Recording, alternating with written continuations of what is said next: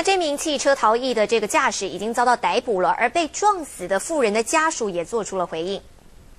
他是要拿开水过去给我喝，我在对面呐、他要拿开水过去给我喝，然后回来的时候，那一台车子刚好从这边弯弯弯过来，然后就把他撞挥挥到这个安全岛这边。哦，啊人已经人已经都躺在那里了哦，啊他又逃逸又加速逃逸这样子，